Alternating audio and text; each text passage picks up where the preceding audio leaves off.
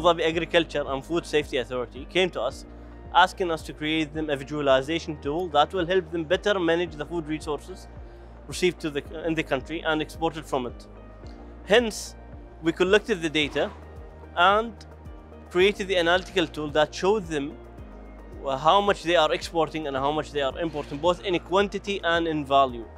Additionally, we implemented the artificial intelligence algorithms that we have to forecast the amount of imports of strategic food resources coming to the country and leaving it. The strategic food resources are stuff like animal feed, rice, wheat, flour, uh, tomatoes, apples, anything related to sustaining a healthy lifestyle for humans within the country of the United Arab Emirates.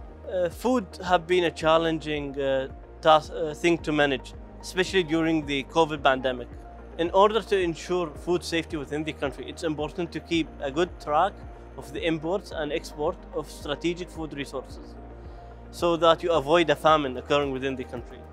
Additionally, you should keep track of the wastage level on certain foods within the country so that you can help other countries who actually need these foods that are wasted within the country by sending them the food before they are expired.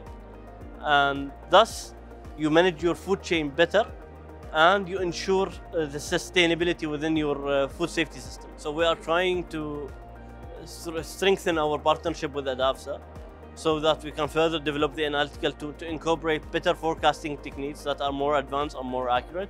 Additionally, we'll incorporate the wastage analysis and production ana analysis within the country so that we can better manage the supply of food within the country and better present our data and hence uh, have better projection and better visualizations and decision ma made by our data and visualization. We are a team of AI experts qualified to a PhD level who have been working on this project and we will further continue supporting ADAFSA to enhance their uh, decision-making process via our analytical tool.